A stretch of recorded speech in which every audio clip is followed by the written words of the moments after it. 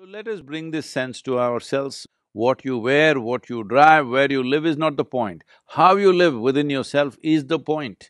And right now, this pandemic, always this is the point, but this pandemic is bringing it up front, in front of everybody, to decide whether your life is important or your lifestyle is important.